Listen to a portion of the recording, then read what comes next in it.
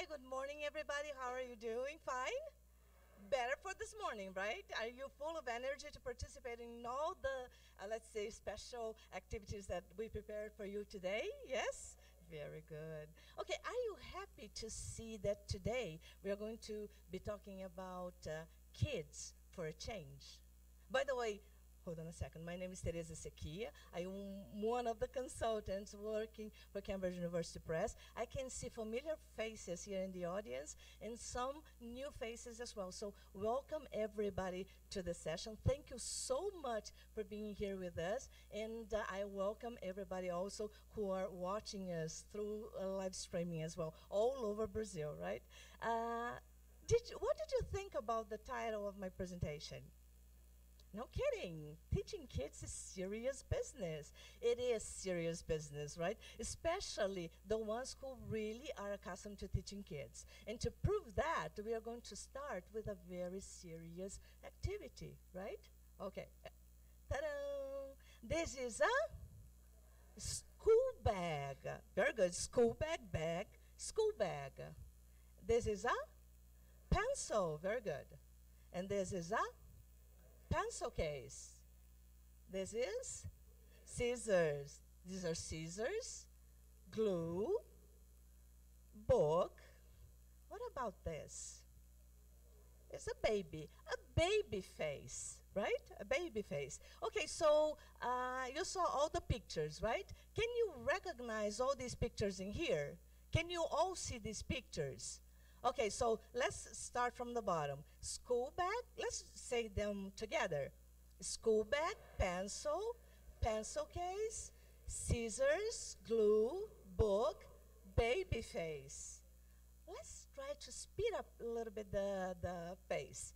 School bag, pencil, pencil case. Stop. Okay, from the beginning. School bag, pencil, pencil case. Stop. Now, scissors, glue, book, baby face. Together. Scissors, glue book, baby face. Okay, from the beginning. Uh, school bag, pencil, pencil case. Scissors, glue book, baby face. Very good, wonderful. A little faster, let's try. School bag, pencil, pencil case, scissors, glue book, baby face. Very good. Now what I need, uh, I want you to get in groups of, uh, let's say, minimum of five, maximum of seven look around, uh, gather. You don't, you won't have to move places or anything. Just count and uh, let's say gather together in groups of minimum of five, maximum of seven. You don't have to move chairs. You're not going to do anything really, really special, right? You don't have to move around. What I want you to decide is who is going to be number one, two, three, four, up to seven? Okay? Decide. Yes?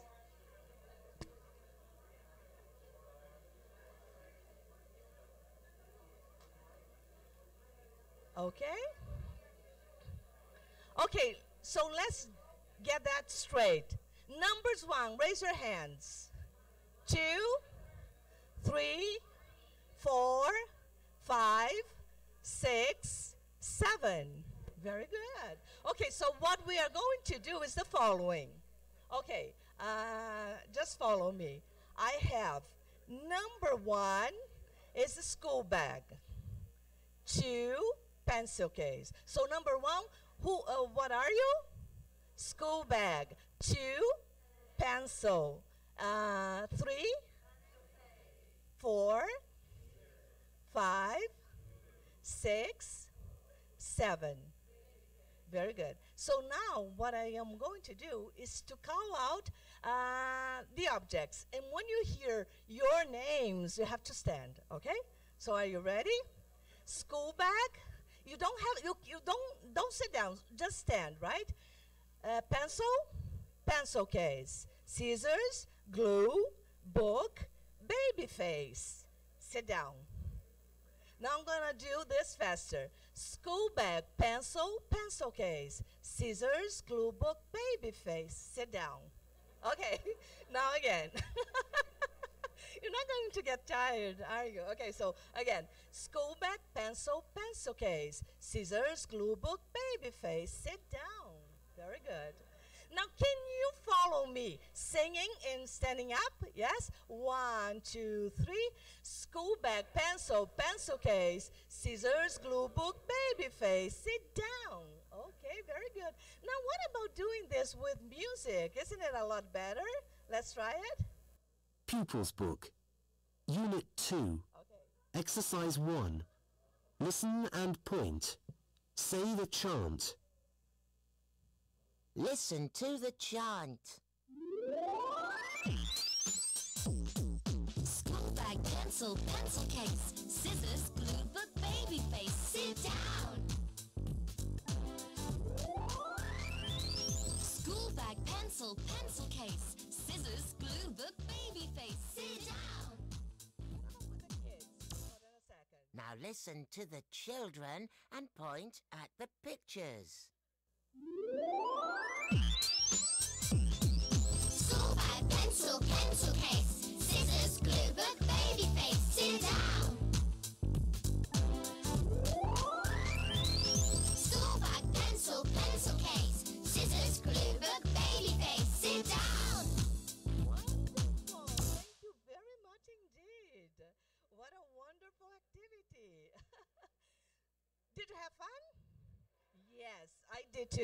Okay, so when we talk about kids, isn't it true that we always associate kids with having fun?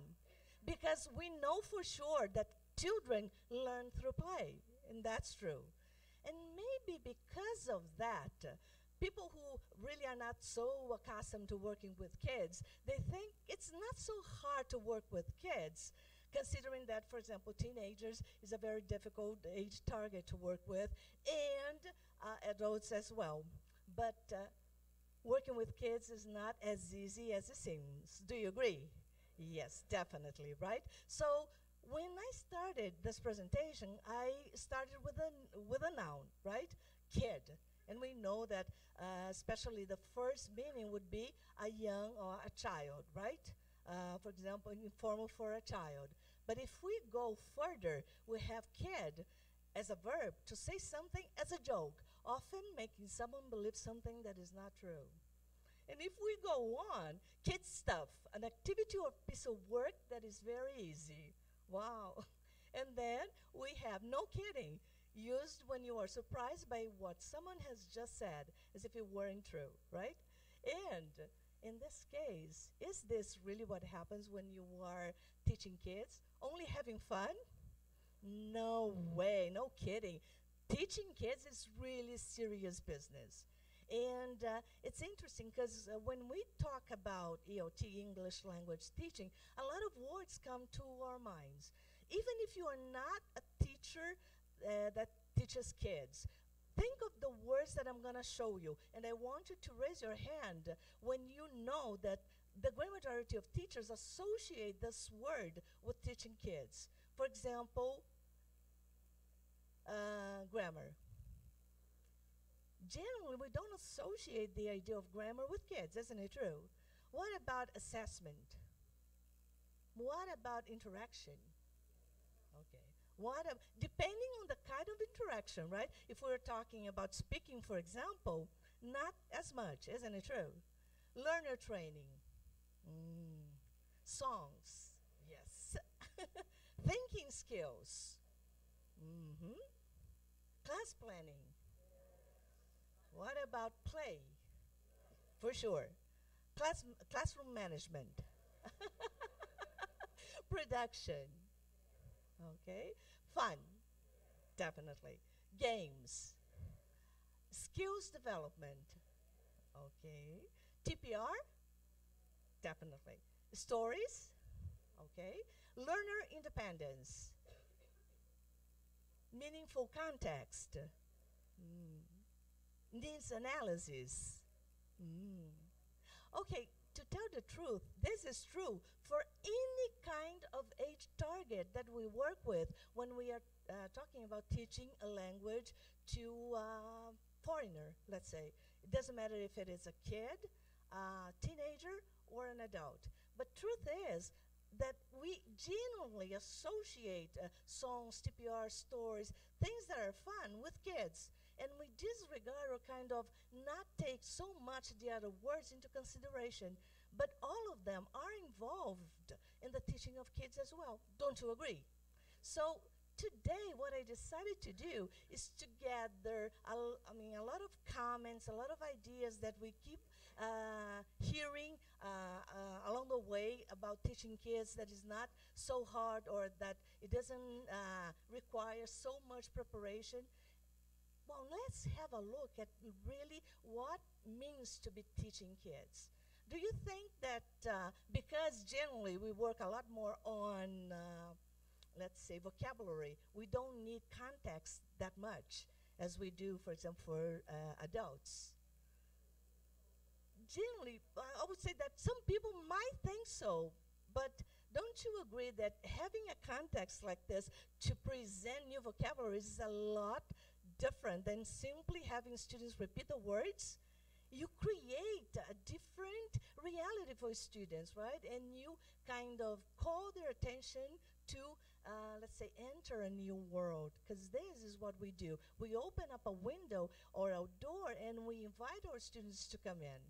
And this context, this meaningful context, has to be present in every single thing that we do with the kids. For example, when you present vocabulary, you can, of course, present vocabulary to students in any way you want, but having something that they can look at and relate to when they are working with the vocabulary helps them remember vocabulary a lot better, right? And uh, it's not just a matter of teaching vocabulary, right? Because they have to understand meaning and they have to be able to remember this meaning later on. Isn't it true? And we keep talking about repetition, exposure, and that means that students have to be exposed to a lot of content a lot of times. So I will stand here and I will say, book, book, book, book, book. So I'm going to stop before you kill me, right? Okay. but let's do this. Let's do this. Let's do this with this chant. I would say a table, uh, sorry, a pencil, a book, an eraser, a pen, a table, a chair. Say it again. Can you uh, say that together with me? A pencil, a book, an eraser, a pen, a table, a chair. Say it again. Very good. Okay, now we are going to have a duo, okay? I am going to play the audio.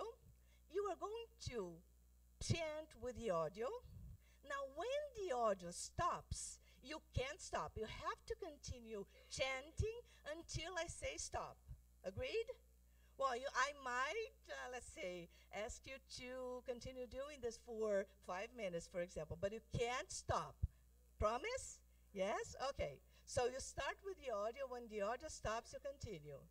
Pupils Book, Okay. Unit 2, page 9. 3. Audio okay for you? Say the chant.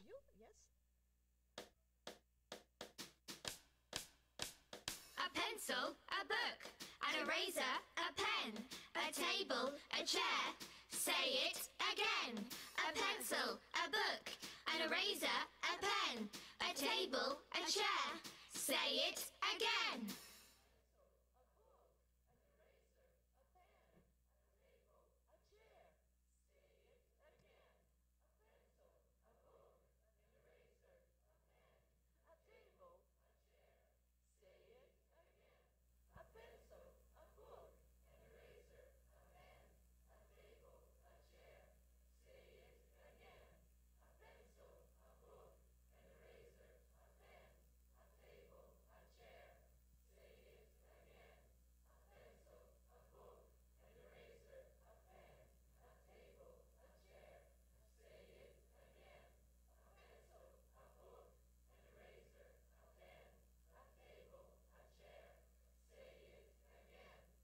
Very good. Wonderful. now, some people will remember the chant because of the sound. Some of them will remember because of the visuals, right? Some of them will remember because of the words, the words, the way they are being presented. So we, in this way, we uh, are able to get to different types of learner, learners with different types of learning strategies. And by uh, let's say, putting together all different styles or different intelligences, we are able to make them store this information a lot better than the others uh, with other types of activities. Uh, how many times did you repeat, for example, pencil or table or whatever? So when we talk about context and meaningful context, this is what we are talking about. When you repeat and repeat all over and over again the same content, but students don't realize that for them it's something natural. It happens naturally, right? And exposure is being increased. Okay, uh, well, I think that for the, the teacher sitting at the back of the room is going to be a little more different, uh, difficult to, to see. But uh, I'm going to point to the animals. Let's see if you can spot them and say the names of the animals. Here?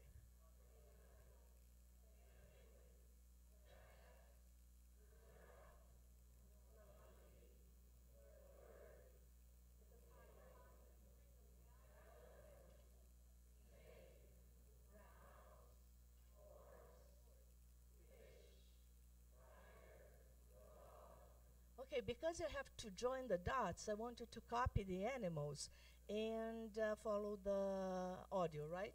And of course, I'm kidding. I would never ask you to do something like this.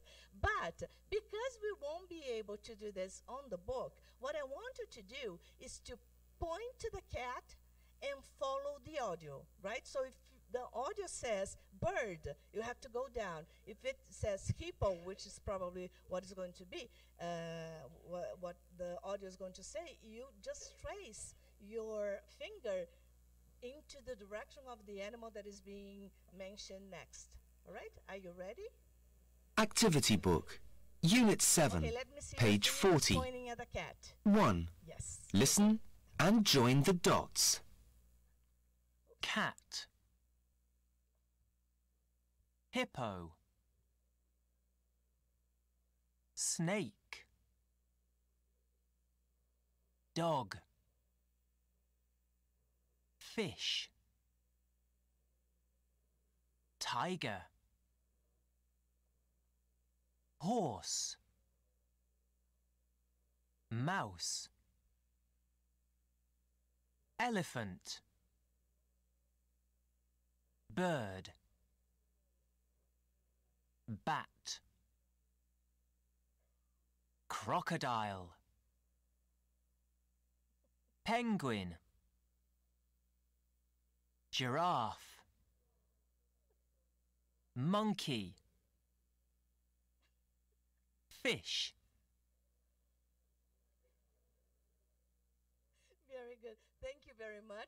Well, I hope you don't hate me. Um, uh, I mean, uh, to now, right? Because I know that some of you were almost. It's like uh, your arm were uh, was, uh, let's say, weighing a ton, right, or something like this. But uh, isn't it interesting the kind of activity that we see here? If you look at this, instead of having, for example, numbers, we have animals in this case, right? So if we look at this from the point of view of a student, it's not uh, a simple exercise where he's going to join the dots. But from the point of view of a teacher, we can see a lot of things. For example, I can see here the linguistic intelligence being worked with, right? Because we have vocabulary. But we also have the visual one, right? Because instead of having words, we have the animals. And students, they have to know the meaning of the, I mean, they have to recognize the animals and they have to be able to, to spot the words uh, in English and they have to be able to hear it. So the musical intelligence uh, as well. And one intelligence that uh, you really, really exercise right now, which is the kinesthetic one. So see, through one single activity, you can put together a lot of different elements in order to practice the language. And uh, does that sound uh, familiar? And of course, when kids are very, very young, the younger they are, easier it is to work with different types of intelligences because they are uh, developing them, all of them, right at the same time, right? And uh, chances are, if they go through activities that are enjoyable, they will tend to favor uh, some of the intelligences a lot more than they would if they weren't working with these activities, right? So Inácio Estrada says something very, very interesting. He says, if a child can learn the way we teach, maybe we should teach the way they learn, isn't it? This is a lesson for a teacher, right? Because it's not the way we like to teach, but the way it will be better for our students. Okay, so look at this. This is a grammar lesson. Do you agree? So we have here, how many are there? There is or there are in this room, for example. So here we have uh, there to be, right? Okay, and here we have a song.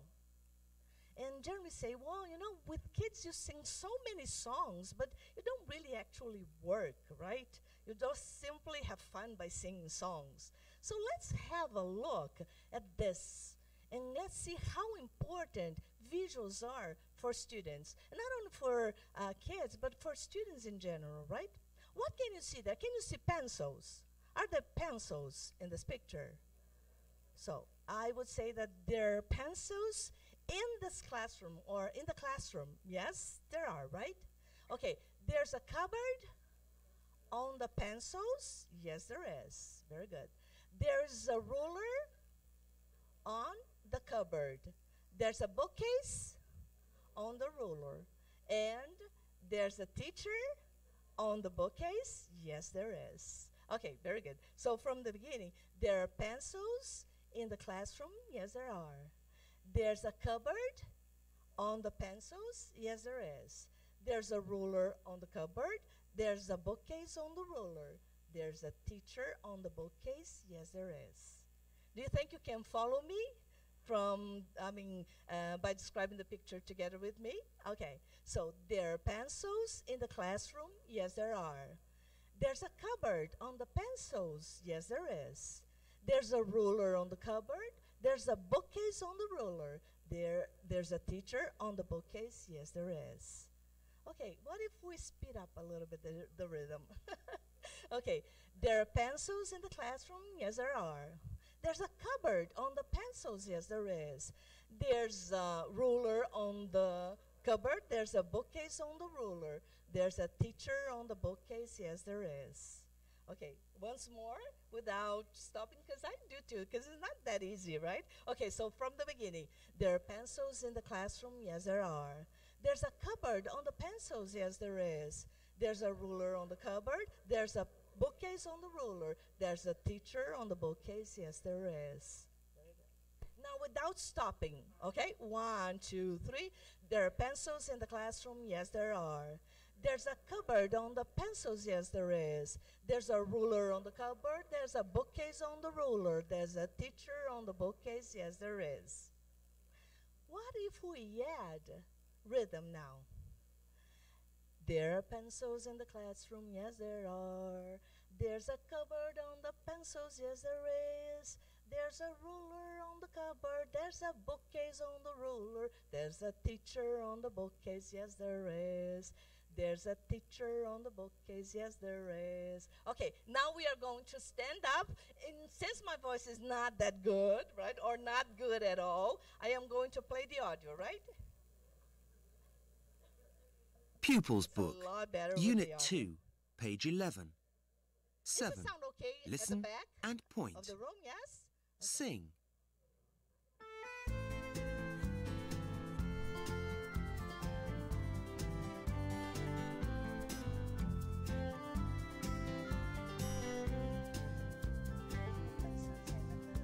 There are pencils in the classroom, yes there are. There's a cupboard on the pencils, yes there is. There's a ruler on the cupboard, there's a bookcase on the ruler. There's a teacher on the bookcase, yes there is. There's a teacher on the bookcase, yes there is. There are pencils in the classroom, yes there are. There's a cupboard on the pencils, yes there is. There's a ruler there's a bookcase on the ruler. There's a teacher on the bookcase, yes there is. There's a teacher on the bookcase, yes there is. There are pencils in the classroom, yes there are. There's a cupboard on the pencils, yes there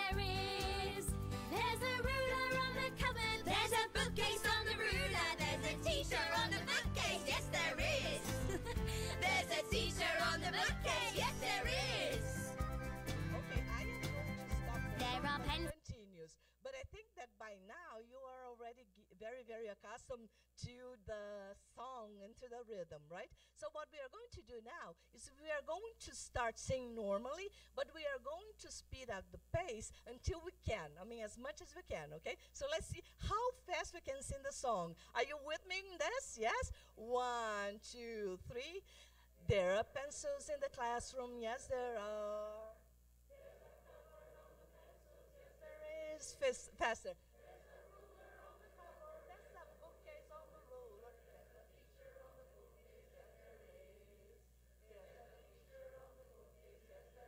Faster.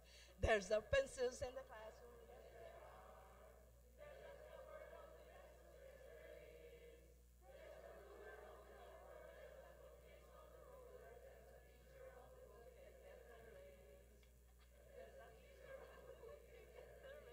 Thank you very much. Wonderful. Wow, gosh. okay.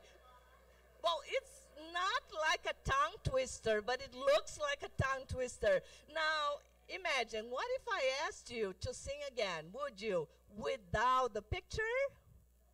Aha. So you see, when we say that uh, visuals are important for kids, well, they're important for all students. Because when I was doing this, the, you were singing, but you were being guided by the images you were looking at, right? So uh, basically, I keep saying that uh, you can bring all the visuals you can into the classroom, and they are going to be very, very important for your students. But you have to be able to exploit, and not only exploit, but to give students the opportunity of really, really using the language that is there and having fun with it. That's the, the best secret of it all, right?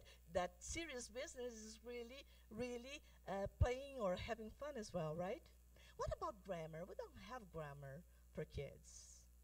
Of course we do, right? But the thing is that we don't give names to the sentences, but we work with grammar as much as we do with teens or adults. For example, look at this picture. We have three people in here. We have Mark, Tony, and Lynn. And they have different things in their baskets, right? So, for example, Mark has what? Chicken and sausages and bread. Here, Tony has apples and cake, and a cake, right? And Lynn, carrots, chicken, and bananas. So I'm going to give you 30 seconds to look at the picture.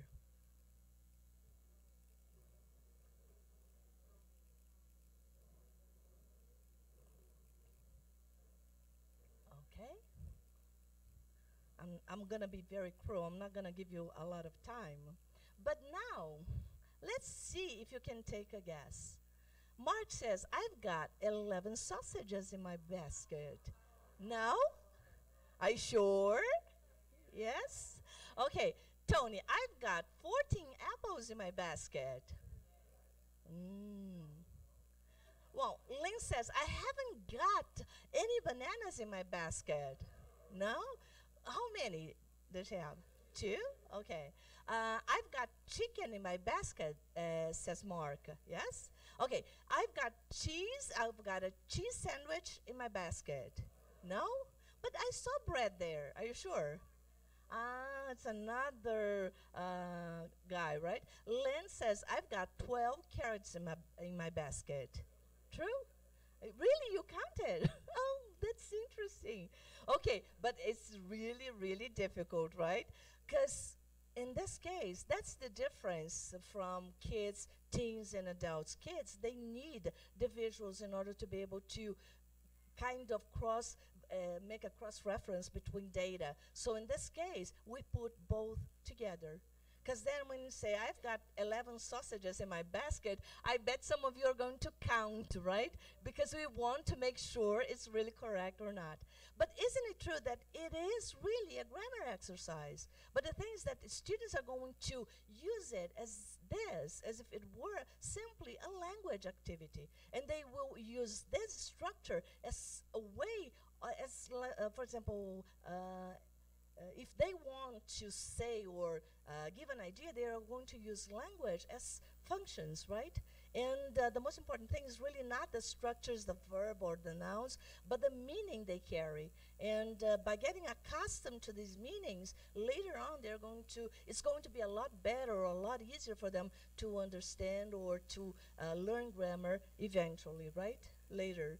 And uh, here we are working, of course, in this case, uh, with the input. But later on, we can do what? We can personalize. So personalization, but isn't it something that we use when we talk about kids and adults? No, we personalize with kids as well. We make them think and we make them use the language and we make them uh, not only use the language but express themselves using the language they are learning, right? So it doesn't matter the age target. Uh, because we are talking about um, expressing ourselves, what about a speaking activity? But then you're going to say, speaking activities uh, for students that are so, so small or so young. Okay, what is she saying? Yes, she wants red, so probably she's saying, give me red, right? Can you, do you have something red? Can you show me something red? Okay, so you're going to say, here you are, right? Okay, give me red. Give me red. Very good. Now, the ones who find red, just point and say, here, here you are. The ones who can find anything red around, no problem, because uh, there will be other colors, right? So give me red. Very good. Gi- uh, okay, so give me yellow. Very good. Give me green. Give me blue. Very good. Give me black. Very good. Give me white. Now you're going to say, all right. Okay, all right. Right? Okay, so let's go uh, back. And I will ask the questions and you give me, you answer to me, right? So give me red. Give me yellow. Give me green. Give me blue. Give me black.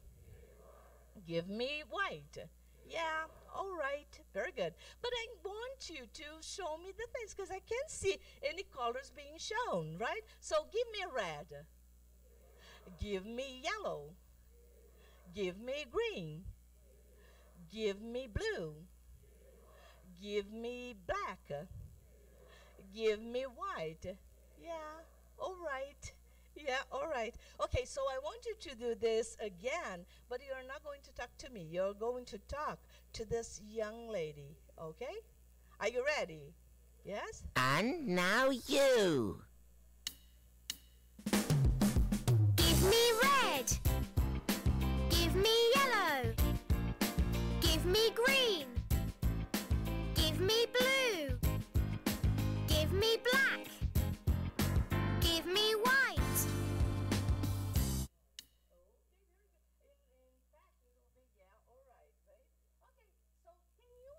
This activity in different ways. For example, I can see different students holding different cards, so I can divide them into groups and say, give me red, and they'll say, here you are, give me yellow, here you are, or they take turns. In this case, it's a very, very interesting activity for you to practice vocabulary but in a meaningful way. Because if you say, give me red, and the student shows blue, something is wrong with this, right? And you can repeat and repeat and repeat the same chant over and over again with this fresh feeling of something new. And they can create their own chance as well. Of course, it's a controlled uh, oral uh, activity, but again, it's uh, meaningful use of language, right? Because they are going to personalize the content. What about this? My pets. students are going to color the pets according to their own taste using their favorite colors. I decided to include this uh, activity in this presentation because I was talking to a teacher the other day and she said that she uh, conducted this activity with her students and it was amazing because this is the first part. The second part of the activity, they had to color the second uh, part of the exercise uh, using the colors, the favorite colors of the, their partners. And it's amazing because if uh, a partner would use something like uh, yellow, black, and uh, gray, they had to paint it exactly the way it was. And it's interesting because sometimes you have uh, students saying, "Well, but I don't want to paint it in uh, brown because I don't want, I don't like brown." And then you go and say, "Well, look, this is your these are your pets and this is your friends. Now your pets you paint it the way you want and your friends pets they uh, he can choose the color right? So you're not only working on attitude but you're also working with interaction the interpersonal and intrapersonal intelligence as well. And you see this is an interactive activity where students exchange impressions and emotions as well, right? So again, it doesn't matter if they are very, very small, they can express their opinions as well, right? Okay, and this is the whole activity. It seems very simple, but isn't it interesting how students take it so seriously sometimes because it has to do with what they like or not, right? Or dislike. And what about this one? For example, I am, uh, I chose uh, an animal and you have to guess, right? For example, it's beautiful and orange. Or it could be one of these two, right? Number two, the fish. Well, why not this one? Well, maybe because, well, do you all agree it's not beautiful? okay. Okay, so when we talk about kids, isn't it true that we have the impression that they only imitate and repeat what we say? That they only or simply uh, parrot what uh, we teach them throughout the classes? But there's more uh, to it than pure or mere repetition. Do you agree? Because when you have activities like these, for example, you are working with a context, sometimes a different context. You are adding up a choice. They can choose whatever they want. You are adding a challenge to the activity, right? And you are setting a task that will require a go as, uh, as uh, in the end. And because of that, they will have to communicate and communicate meaningfully, right? And that will all lead to an outcome, right? Be it learning a little more, winning, or doing better next time. But if I look at this, isn't it the same thing that we do for adults or for teens? So again, it's so much work that we have to do, plus other, other things that we have to take into consideration. But uh, we have to be careful with games, don't we? This is, uh, well, this is uh, part, a comic strip from Calvin and Hobbes by Sam Watterson. Uh, he's one of my favorite cartoon uh, writers. And this is uh, Calvin talking to Hobbes, his imaginary friend. And he says, I'm thinking of a number between 1 and 700 billion. Try to guess it. 11? Nope. Guess again six million and four. And he says, nope. Yes again. Look at uh, Hobbes' face. And then he goes away, and Calvin gets very mad. What's the matter with you? Don't you like games? So again, we have to know exactly what we are doing, right? Otherwise, we can lose our students. So simple games, games that are easy to set up, easy to accomplish tas- tasks or goals that are easy to accomplish, right? Things that are easy to be understood, right? But not all games are so simple because in this case, a lot of background knowledge is involved, right? They have to kind of uh, look back and try to remember something that has more or less the same shape before the drawing is being completed, right? So we're talking about thinking skills. This is also a game. And in this game, I have to guess uh, my partner's row of toys. So my question is, why would I ask a question such as, uh, "Have you got a black dog?" Why would I ask a question like this? Because if I do, if I do, what happens? If I say no, I win the game. Do you agree? I yes, I have. That means I have three options. But if I uh, answer no, then I win the game. So what would be my next question in this case? Have you got a train? That's a, uh, another possibility. Have you got a ball, etc., etc., etc. So we are teaching our students to think, right? Uh, so thinking skills they are not born naturally, right? We have to uh, give students opportunities to develop that, no matter how young they are. So Socrates said, "I cannot teach anybody anything. I can only make them think." And this is what we do for all students. Why not with kids as well, right? Okay. Uh, because time is short, I'm not gonna uh, show you or uh, develop this activity. But you see here a house. How many rooms are there? Yes. Okay. How many bedrooms? Can you see a kitchen? A Dining room? A hall? Living room? Yes. Are they small or big?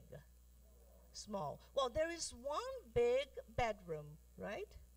And it is different from this one, right? Because here I have two floors. So what happens? I am exploiting the picture and calling students' attention to the differences between one room and the other. So I here here I have number one two options, number three uh, number two two options, and number three two options.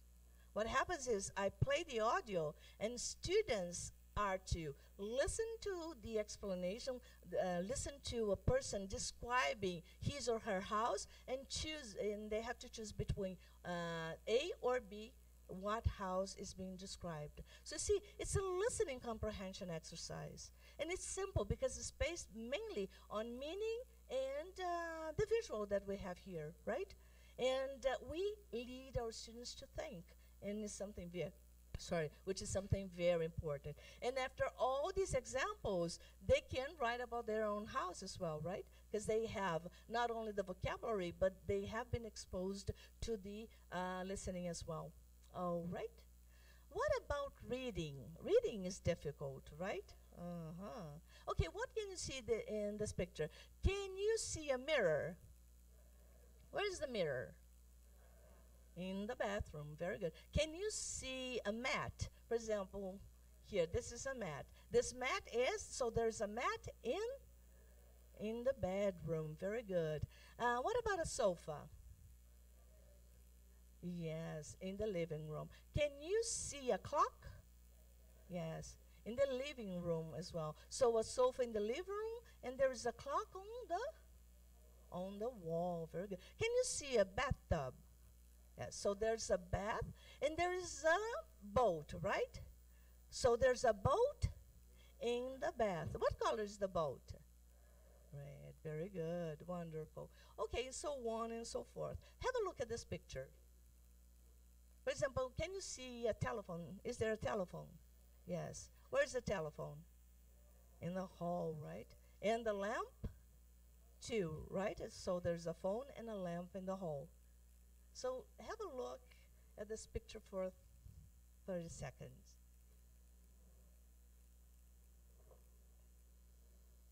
Ideally, I would give uh, you this activity together with a picture. But if I showed you the um, the poem in here, you probably won't be able to see it at the back because the image is going to be very small. So I am going to take out the picture and let's see if you can help me complete the sentences. So there's a mirror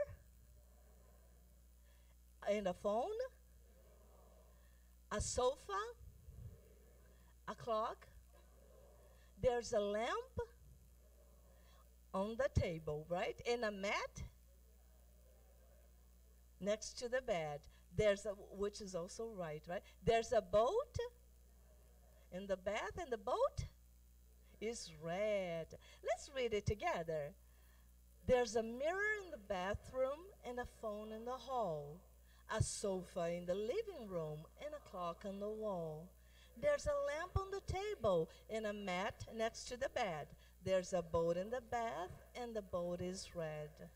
It's so important to work with visuals, right? And visuals are used for different uh, reasons or for different purposes. In this case, is to help students read the text, right? In this case, it's a small poem. We start with a small poem and we go on and on and on, right?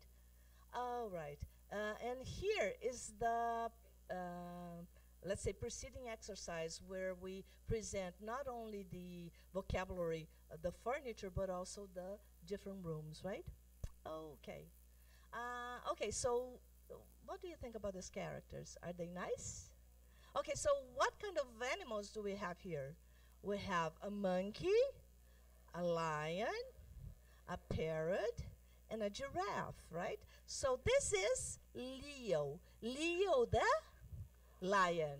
We have Mike, the monkey. We have Polly, the parrot. And Gina, the giraffe. Very good. Okay, they are very, very good friends. But the thing is that they are very, very hungry. Very, very hungry indeed. Look. And uh, guess what?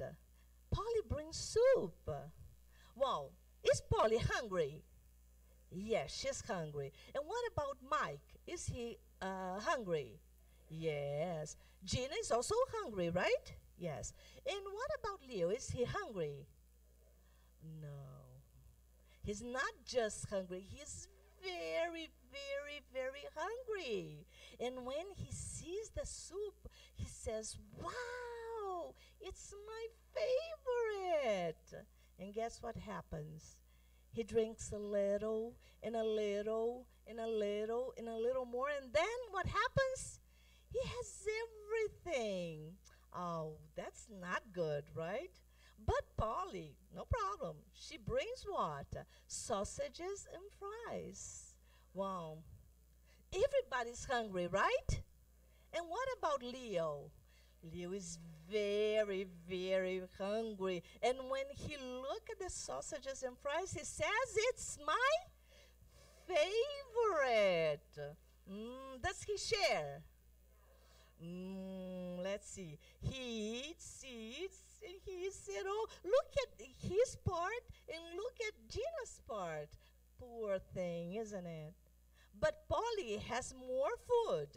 Look at what she does. She brings apples. Now look at Leo's face. Why is why this face? Because he is hungry, very, very hungry. But now he shares, right? A little bit for everybody, yes? Yes or no? No. Oh, look. Look, look at the way he divides the food. Isn't it? Wow, bad boy, isn't it? But it, does he eat it all? Yes? Yes, he eats everything.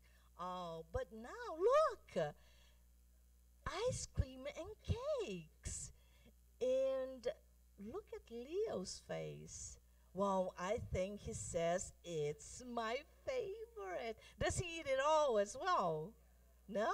Okay, so let's have a look and see what happens.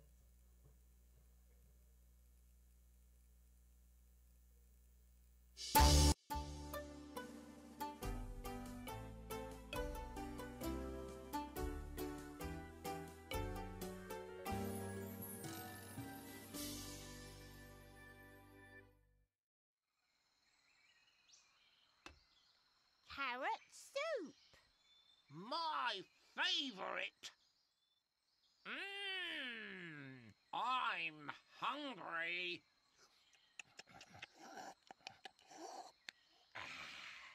Leo. Oops, sorry.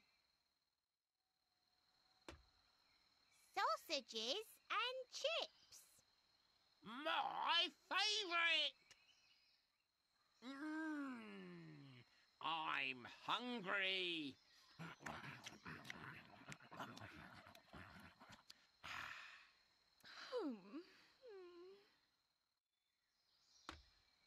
Apples. My favorite. Mmm. I'm hungry. Mm. Mm. mm, mm, mm Oh. Cakes. And ice cream. Oh, my favourite. My favourite too. Oh, oh no. I'm too full.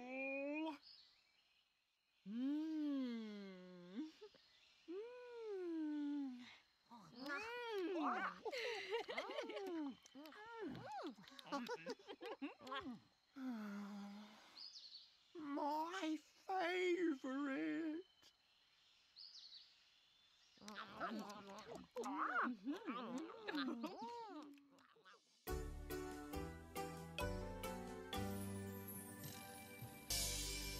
can look at the situation, they can relate to the characters and to the situation. Of course, uh, here we work with the here with values, right, with attitude, things that they should or shouldn't do. But uh, most of all, we are also working with stories, and stories they are very, very important. And we talk about stories, we talk about beginning, middle, and end. But there's a little more to it, right?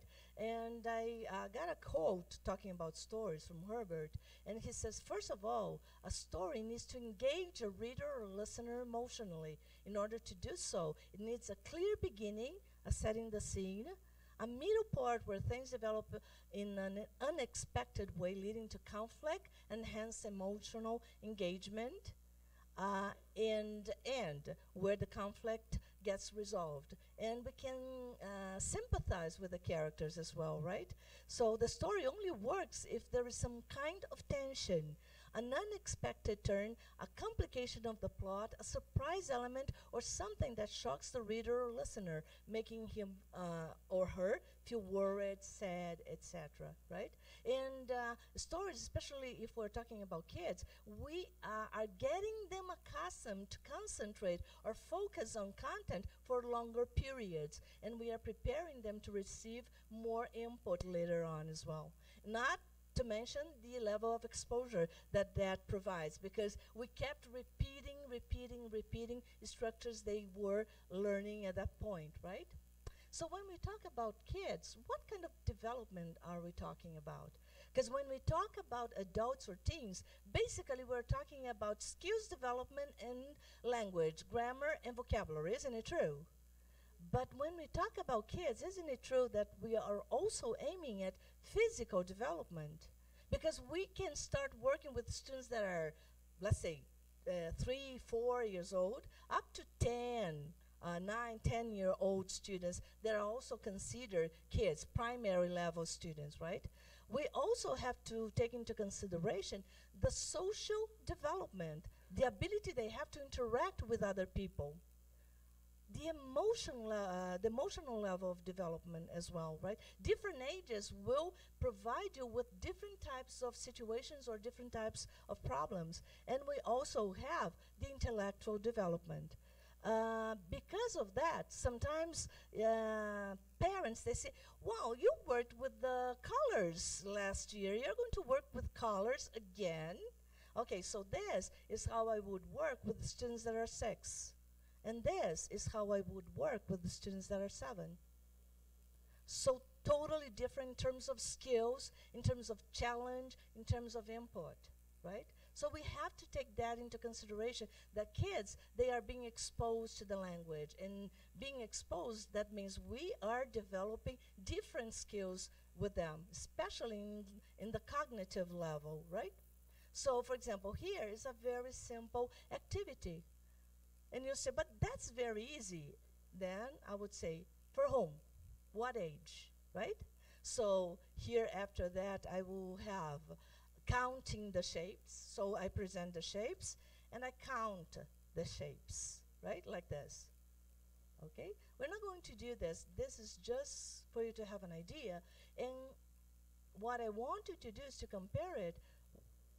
Okay, so here closes the uh, lesson on shapes, right? Have a look at another lesson for older students, right?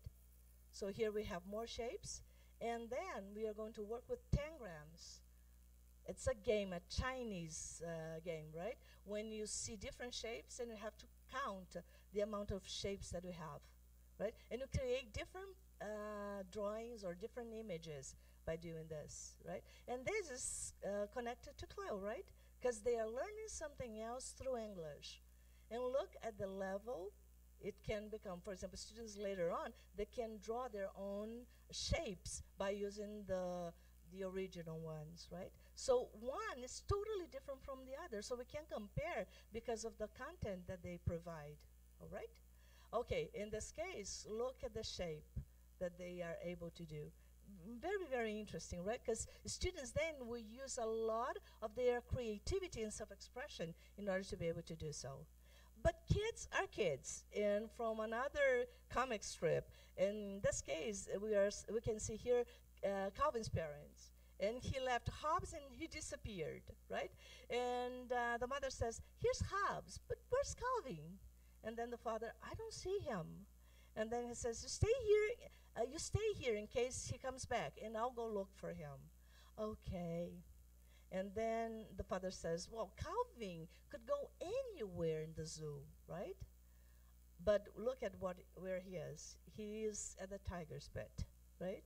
And then the parent says, I know maybe Calvin's at the tiger's pit since he likes tigers so much. And he goes there, problem. But then all of a sudden he says, haha, maybe Calvin's is in the tiger's pit since he liked tigers so much. And then he goes flying, right? So kids are like this, isn't it? So uh, although it seems so weird, somebody trying to do something crazy like this, they do, right? And because of that, we do a lot of work on different things. Values, for example, sharing, caring and sharing. We work on different values and we work with different things. For example, we, own, we are not going to teach only what is in the classroom, but we are going to work also on attitude, on things that they have to learn outside the room as well. And the art of teaching is the art of assisting discovery as well. Because through uh, English, we can teach them a lot of different things, like this one, for example right? Have you tried? It's really very nice. It's a very nice way of showing colors because you can see the colors of the rainbow on the CD. It's very, very uh, interesting. Or when you start giving them more input and have them learn different things through English as well. So, for example, these pictures are very beautiful, isn't it? And they start learning a little bit about animals and their uh, habits in terms of uh, uh, meals or places where they live, right? Okay. And this leads us to CLIL activities, right? Oh, right. What about this? Projects that they develop, right? Okay. Uh, so keep in mind, language learning is not just about languages. It's about how the brain remembers best, about content that appeals to the students. It's about helping students feel they can do it.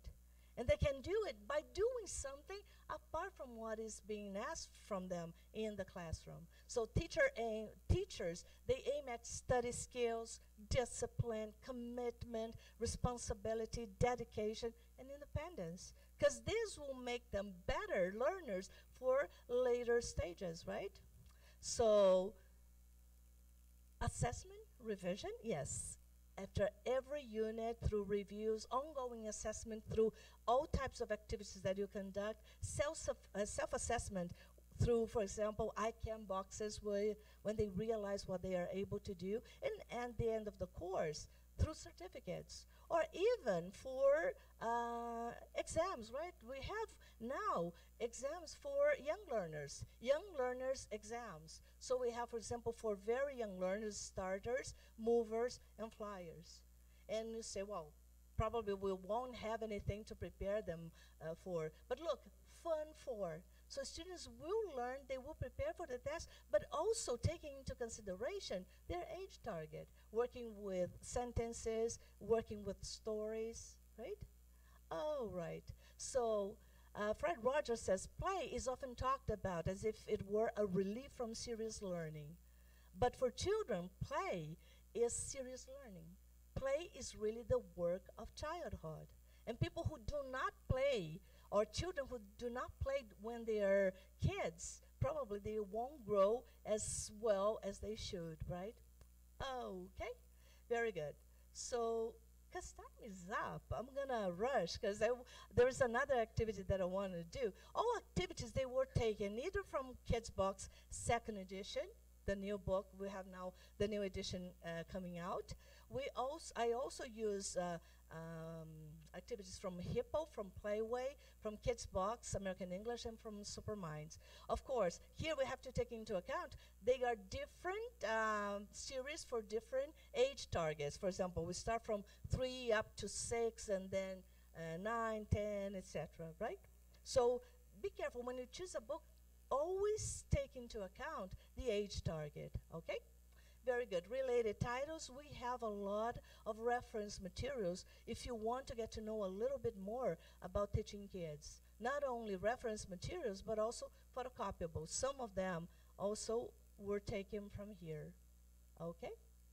And we also have uh, readers for different age targets.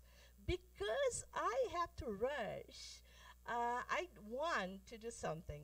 Okay, can I divide this room into four different blocks? So I would say one, two, up to, up to here, okay? One and two, right? Three and four, okay? Right? Okay, one, raise your hands. Twos, threes, fours.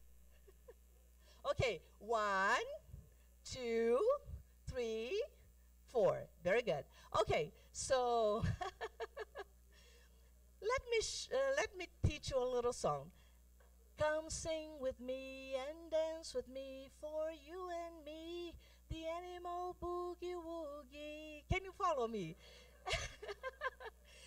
Come sing with me and dance with me for you and me, the animal boogie woogie. Again, come sing with me and dance with me for you and me, the animal boogie woogie. Okay, now number one, guess what? You are dogs. Okay, dogs do woof together. Woof. Cats do meow. Okay. Uh, sheep go ba, right? And uh, cows do moo. Very good. Okay, so come sing with me and dance with me for you and me, the animal boogie woogie. Very good. Okay, so let's do the. when I do this, it means it's you. You, three, you, four. Can you all? Oh, sorry, sorry. Uh, you, you, you, and you, right? So let's do the animal boogie. Woof. Let's do the animal boogie. Meow. Let's do the animal boogie. Bang. Let's do the animal boogie. Moo. Very good. Come sing with me and dance with me for you and me.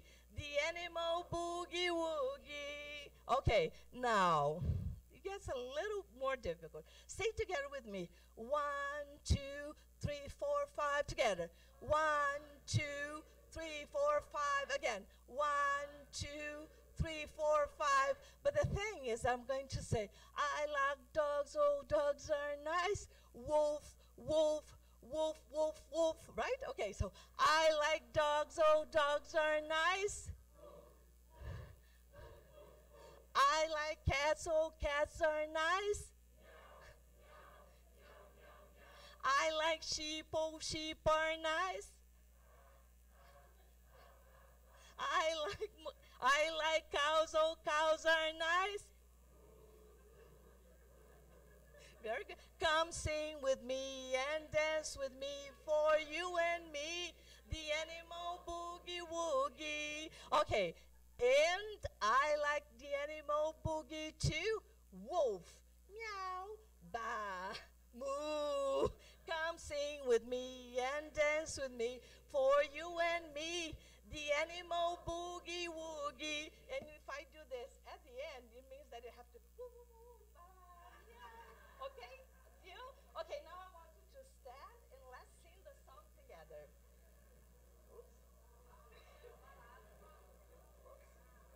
One, two, three. Come sing with me and dance with me for you and me. The animal boogie woogie. I like the animal boogie. Wolf. I like the animal boogie. Meow. I like the animal boogie. I like the animal boogie. Moo. Come sing with me and dance with me for you and me. The animal boogie woogie. I like dogs, oh, dogs are nice. I like cats, so cats are nice. I like sheep, oh, sheep are nice. I like cows, oh, cows are nice. Come sing with me and dance with me for you and me, the animal boogie woogie. And I like the animal boogie too. Yes, come sing with me and dance with me for you and me, the animal boogie woogie. Woohoo! Thank you very much indeed. What a wonderful, wonderful. Well, they, well, they got just in time for me to show the last quote. You have with kids, if you have built castles in the air, your work need not to be lost. There is where they should be. Now put foundations under it. Right? So this is what we do with kids. Thank you so very much for the session. Well, what, you are a wonderful audience. Thank you so very much.